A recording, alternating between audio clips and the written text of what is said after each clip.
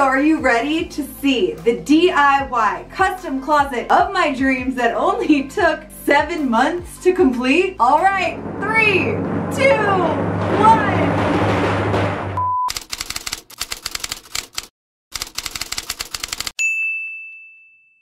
Oh my gosh. I've been working on this closet for seven months. That's embarrassing.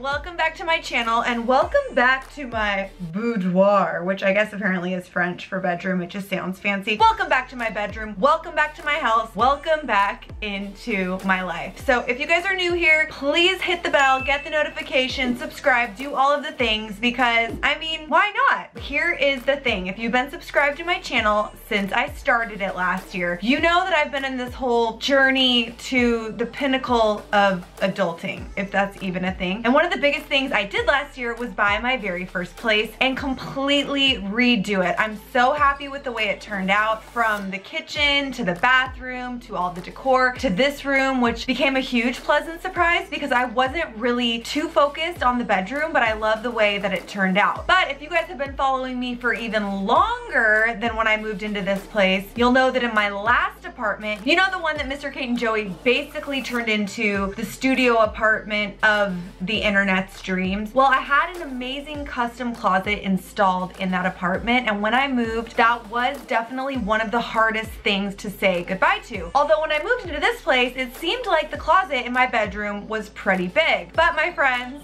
that was before this huge life event happened and I found out, oh wait, I'm gonna need to be sharing this closet because I got engaged and Chris is gonna be moving into my place and spoiler alert, there's absolutely no room for any of his stuff. And the babe doesn't even have that much stuff. So this essentially became a huge looming problem. So let's go back in time, shall we? Back to a time I like to call February of 2019. Okay, so it's not really that long ago, but it is seven months ago, and it feels like a different lifetime ago. Chris and I were not engaged yet at the time, but I was definitely starting to think about what we were gonna do when we did get engaged and when he does eventually move and get all his stuff in here. And like I said, there's no space. My dad, Phil, you guys know him. He's been on this channel a ton. He's recently retired and very available for any of your needs. Well, he came over to my house to help me kind of move some stuff around when I just like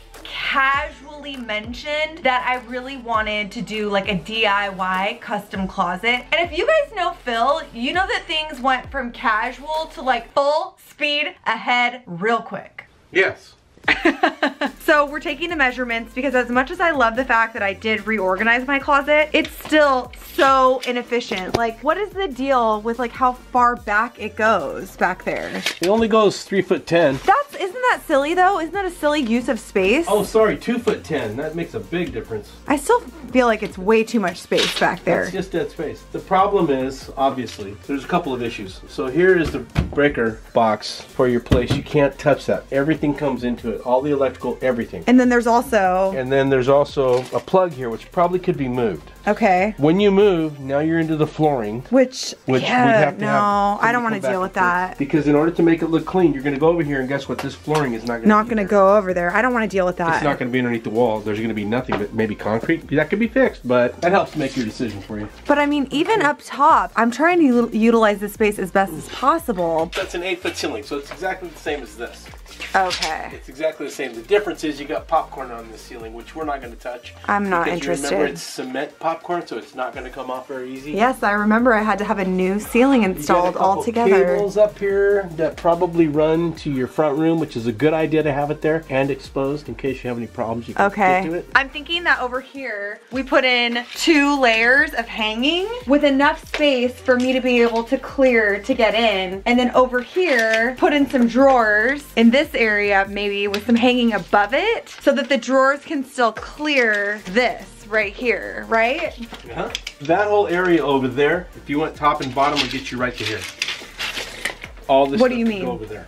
Oh, okay, so this is actually twice. very important to know is that you need to measure all of your hanging clothes so that you know how much you're gonna need once you install new hanging racks. So my dad is measuring right now how much hanging clothes I have so that when we install the new rod. So if you install in the corner over here, you got 24 inches going that way. If you're gonna hang the clothes that way, you got 24 inches. You can put a top rack and a bottom rack. Right. Then you just have to concern that you're able to get in there. So some of this stuff would have to go a little bit right, Maybe exactly. to right in here so you could clear it and get in there. And there's probably some shallower cabinets you could stick in there that won't be in your way, you know? But you could get 24 inches twice, which Which is you- how much stuff? brings you on these hangers right to here. Okay, that's awesome. So it leaves this stuff here to be figured out. This has all got to be go away, all of it. Yeah. Unless you wanted to put in some cabinets. like up higher. like that. They're that deep. Right, for like jewelry or like something like that. Yeah, hats. Or I could like hang my hat collection right there. Yeah. Do you like my hats? No. Let's pull them on. Look. Okay, let's take a look. Why don't you try on some of my hats? This is gonna be fun. Watch this. So I have what's known as a large head. How good does that look? My head's seven and five eighths. Dad, you look Yeah. so fashion. When I, I, wanna. played, hey, when I played high school football, I could barely get my head up with the helmet on. Let's see what that. I ran forward about five steps before I could actually stand up. Let's see this one. Oh, this one's gonna look oh. really good. This This one's so awesome. Coachella. What's up? Dad, there's actually that beanie right behind you. You should try that too. Actually, you look so cute. So G. It's the one and only Digo Double G. How about this? When you're done building my closet for me for free, I'll give you that. Okay. Sound good? That's, that's that's a driver for sure. on the other side of this closet I have more like jackets, etc. But I mean, hopefully dad, I'll be sharing this space with someone else someday. I would hope.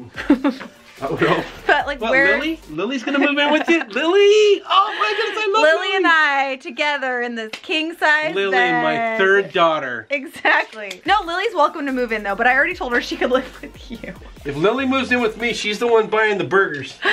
She'd probably be glad to contribute that. Exactly. So as you guys can see from that initial time in my closet with my dad, we were really just looking at the space and doing what I recommend that you do 5,000 times before you ever proceed with any home project ever. And that is measure, measure again, measure again. And then, hey, when you think you're done, measure one more time because as you're gonna see in this video, even with all the measuring we did, we still screwed this project up so royally. I mean, that's why it's seven months later. So, cut to a few days later, Phil and I, we went to Ikea. We made it to the promised land. Oh, this is why I don't go with you places like this. I'm excited.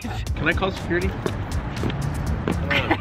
And we knew going into Ikea kind of what we wanted. We knew that we wanted to do partially a DIY project and partially the PAX system, which is at Ikea, which by the way, this video is not spawn, but I do think they have the most affordable options if you are interested in doing a project on your own. And we decided to do partially DIY because we felt like that was how we would really be able to maximize the space in this weird closet. Because like you guys saw on each side of the closet, there are like these two and a half feet of space that are just really, really hard to access. So what we decided to do was to put in hanging clothes sections on each of those sides to really, again, maximize the space. All right, look what made it. This is just literally maybe half or one third of the boxes that Ikea delivered with really little to no directions at all. Chris started moving all of the pieces and organizing them in my room and what's happening? The sneezing fit right now, first of all, Well, but it's a good thing you're so good at building IKEA furniture because here is the first portion of the shelves. He said it took him an hour to just organize all the different pieces. And apparently all this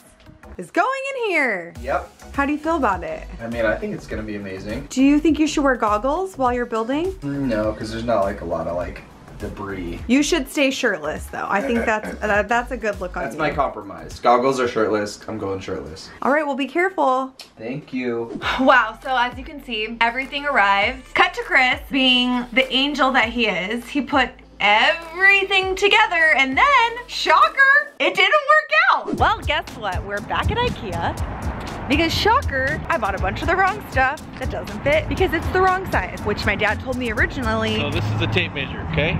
This is the size you need, just a little under 20 inches. And I think you bought one bigger. So now we got a tape measure. This should fix the problem. Anyways, we're back at Ikea, so excited to be here. we ordered everything we thought we needed. Chris, the angel of all angels, puts everything together. What's going on, dude? Just shirtless hammering. Excited for this to be done. It's Been a long time coming. And here's when your girl truly starts to lose it. It didn't work again. For not the first, not the second, but the third time, I apparently ordered all the wrong size items for my closet. Here they all are. This one's even fully built. Just a ton of extra pieces down here. Oh wait, there's more over here.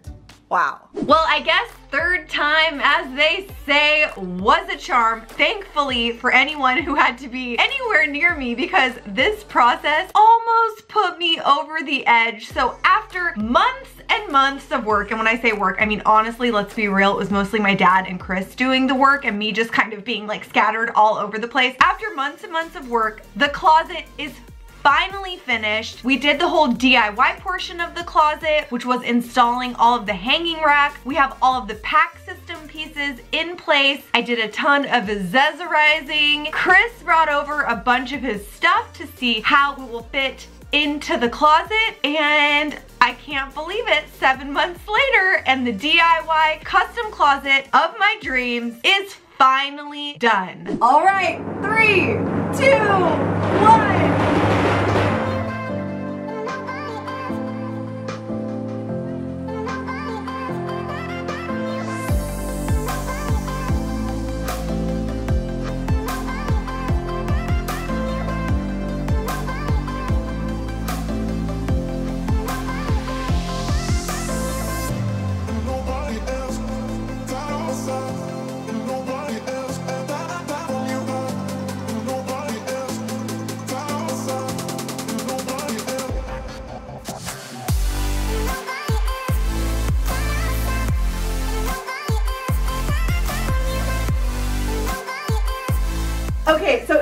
remember the closet from before, it was essentially like a pretty basic closet with hanging that went all the way across, but I thought that wasn't really efficient enough, especially considering there was so much space. I mean, I'm all the way in here. Hello! There was so much space. So what we did, and by we I mean what my dad did, was build three tiers of hanging for like shirts and pants and suits and jackets. And I feel like this is so efficient. And truthfully, it's not even really that hard to grab this stuff, but this is all stuff I don't really need to get to too often. So this was definitely one of the DIY elements that I'm really proud of. I'm also really excited about what we did with these baskets that are hanging right here. These are actually meant to hold like books and magazines, but I thought it was a really perfect addition to put some of my smaller handbags, smaller backpacks. And then of course we have this jewelry storage right here, which is so awesome have some of my accessories inside of there. I can also get like a nice last look. And then I added some tap lights because it is pretty dark. Adds a little bit of extra lighting. Those are just battery powered. And of course I have my YouTube 100,000 subscriber sign.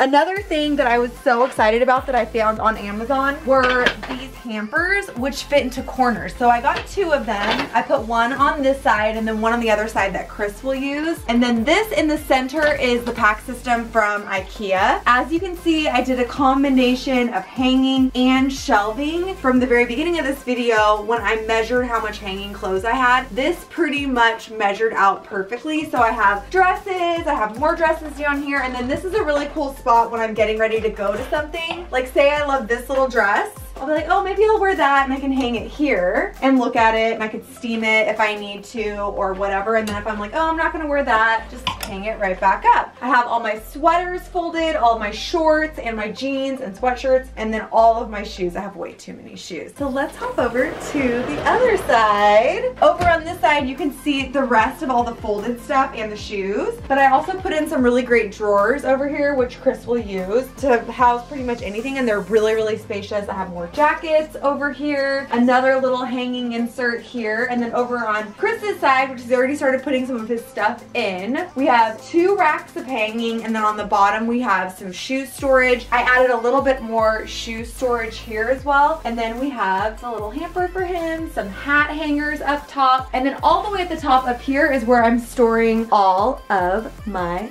luggage. I'm really excited with the way that it turned out. I would honestly love a closet that is significantly larger than this, like 10 times larger. But this is a really good way of constantly paring down what you have. This closet regenerates itself constantly, so I'm constantly having to get rid of more stuff, which I think is great because honestly, how many shirts does one woman need? I'd like to say I need 7,000 shirts, but I know that's not true. Let's see what Chris thinks. So Chris is here. I'm here, hello. In the process of the seven month closet, we got engaged. So you're gonna live here soon. it's really weird. it's weird to think about living in this beautiful, beautiful condo. Is it weird to think considering you've also done all the work on this place? I mean, you just did such an amazing job. It's like a, it's not a boys' home for sure, because it's way too nice. Well, it's about to be a boys' home, and you're about to live with a girl for the first time because Chris is the oldest of six boys. for the first day of the rest of my life. Are you excited to see the closet? yeah, oh, I thought to, to live with you, but yeah. Oh! yes, I'm excited for the closet okay, open too. it up. I want to see what you think. wow. Now that everything is in here, what do you think? It was like a bar when you got it. One bar. Look at all the space. If you walk inside, are you impressed? You can oh. actually fit in there. Dang, this is great. You want to go see what your side is? Yes, I do. So, I only get a Hey, hey. 20%? Or is this a fair deal here? I mean, no, it's not, obviously. wow, my stuff looks cool in here. Do you want more space? Because we have to move. Good thing I'm a realtor. I know. Can you find us a new house gonna- where I It's a huge walk-in closet. It's gonna be our in our next house. Great. I'm so excited. But also, I love this closet. I'm dying to hear from you guys. What did you think of the before and after of this amazing DIY custom closet?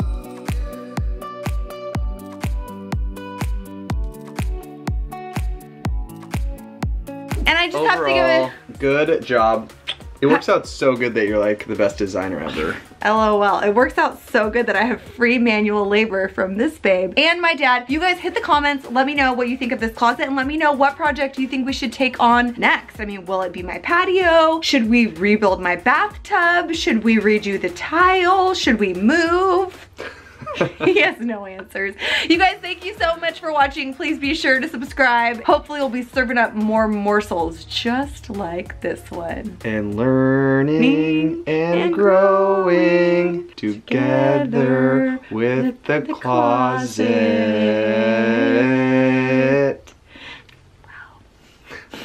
Love. Bye guys.